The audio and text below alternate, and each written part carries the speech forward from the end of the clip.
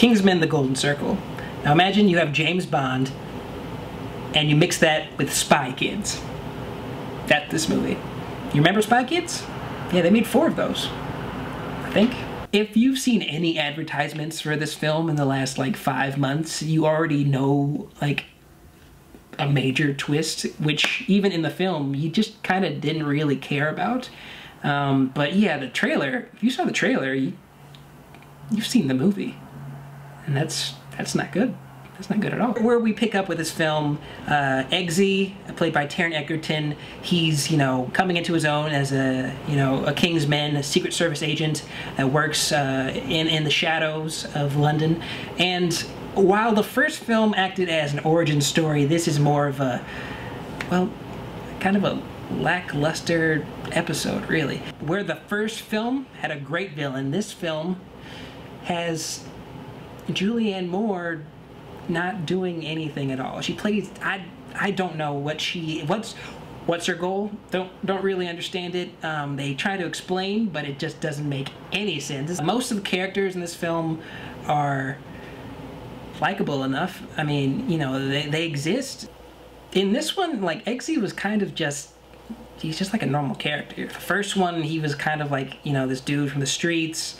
Uh, he, he was a troublemaker and then he, he kind of shifts into this like heroic, not heroic, I mean, I mean, more likable character. But in this one, he just doesn't do much. And the real kicker in this film is that you just don't care about almost any character. You actually don't care about any character. I gotta be honest. Like, if something happened to Eggsy, you'd be like, oh my god, what?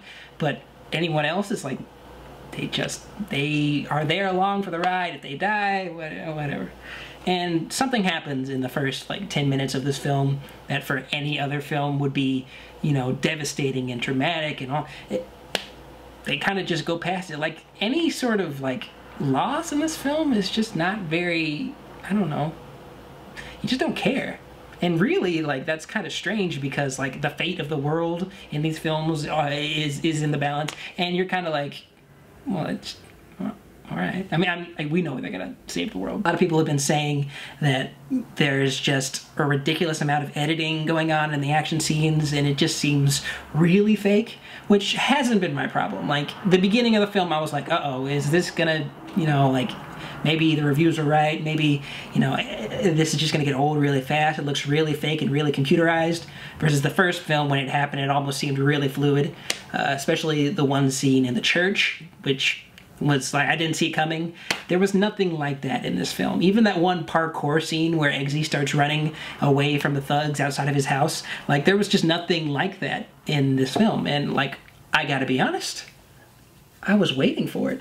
But I'm starting to think that maybe these like Mark Millar comics shouldn't have sequels. Maybe that's just, it just won't work. I mean, obviously you can make more, but it just doesn't hold up when it's in film form.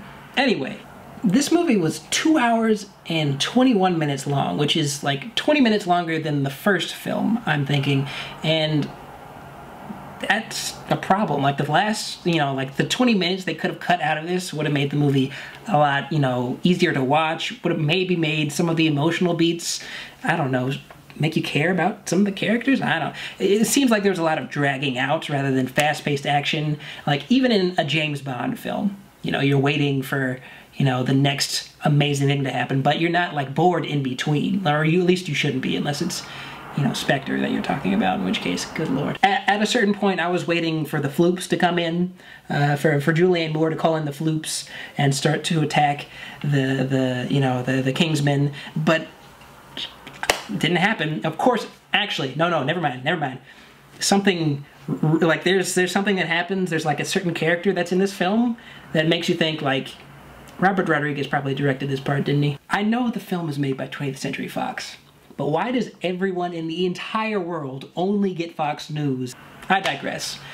The fight scenes in this film aren't as good as the first one. The overall plot aren't as good as it's not good as the first one. The characters aren't as good as the first one. Really, I don't know. There's just nothing in this film is better than the first film, which is sad. It's just it's over. It's way more over the top uh, in certain aspects, but it's overall just something that just didn't need to be made, which is really disappointing because I have this rule about a franchise, and that's if the second movie is not better than the first one, they should never make any more.